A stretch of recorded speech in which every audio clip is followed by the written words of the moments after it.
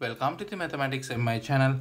In this video, we are going to find the determinant of this big matrix. Well, how to begin? Okay, first uh, look at carefully. Here we have 12, 3 minus 5, 1 and here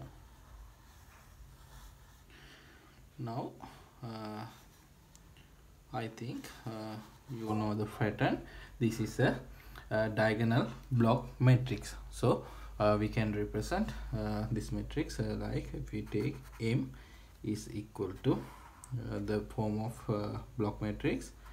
Here a 0 0 0 here b 0 0 0 c. Okay then uh, i'm going to take uh, this part. P is equal to p is equal to matrix b 0 0 c. Well uh, now we can write uh, m is equal to here we have uh, now uh, p is equal to b 0 0 c. So uh, here a 0 0 now instead of this part we have p.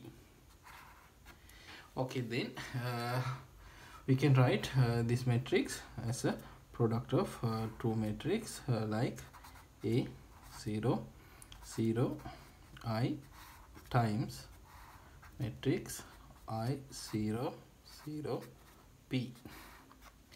Okay then um, as the next step uh, we can write we can take uh, determinant. So uh, determinant of a 0 0 p is equal to uh, det here.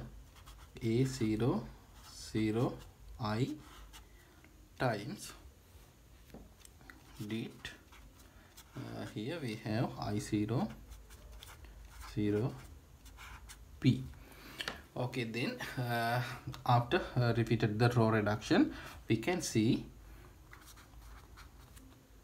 det a is equal to determinant of a 0 0 i and also uh, determinant of p is equal to uh, det of i 0 0 p okay then uh, we can write here we have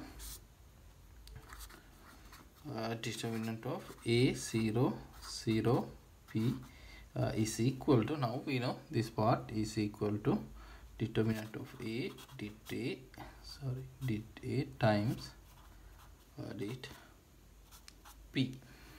Okay then we can conclude that uh, for any block matrix uh, the determinant is equal to det of a times det of p. So we can write our main integral sorry not integral the matrix uh, det m is equal to uh, determinant of here a 0 0 0 b 0 0 0 c. And also we can write this is equal to uh, of a times uh, of here b 0 0 c.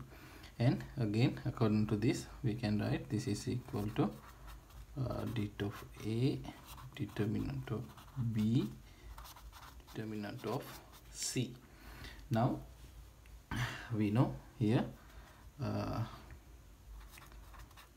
determinant of now a is equal to uh, 12 3 minus 5 1 and then determinant of now b is equal to here 4 5 2 minus 1 0 minus 2 3 5 minus 1 uh, times sorry then uh, times det of uh, here 1 2 3 then minus 2 minus 1 5 0 minus 2 0 okay then uh, if you simplify here now we can easily find the determinant of this matrix.